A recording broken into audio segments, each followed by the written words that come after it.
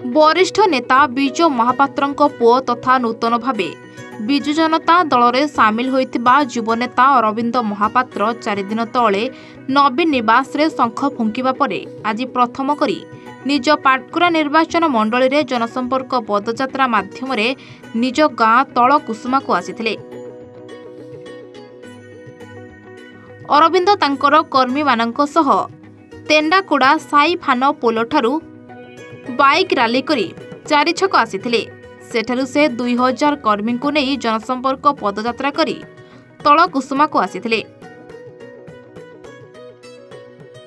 ନିଜ ଗାଁ ଆମ୍ବଳେଇ ଠାକୁରାଣୀଙ୍କ ଆଶୀର୍ବାଦ ନେବା ସହ ସେଠାରେ ଏକ ହଜାର ମହିଳାଙ୍କୁ ନେଇ ଏକ ମହିଳା ସମାବେଶ ଆୟୋଜନ କରିଥିଲେ।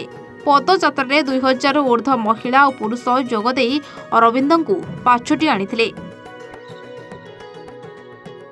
ଆଗାମୀ ସାଧାରଣ ନିର୍ବାଚନକୁ ଆଖି ଆଗରେ ରଖି ପାଟକୁରା ବିଜେଡିକୁ ସଶକ୍ତ ଓ ସୁଦୃଢ଼ କରିବା ପାଇଁ ଅରବିନ୍ଦ ଆଗାମୀ ଦିନରେ ଦଳୀୟ ନିର୍ଦ୍ଦେଶ ଅନୁସାରେ କାମ କରିବେ ବୋଲି ସୂଚନା ଦେଇଛନ୍ତି।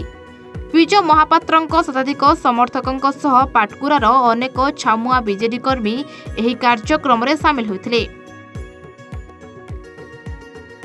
କେନ୍ଦ୍ରାପଡ଼ାରୁ ମାନସୀ ମିଶ୍ରଙ୍କ ରିପୋର୍ଟ ଏ ଓଡ଼ିଶା।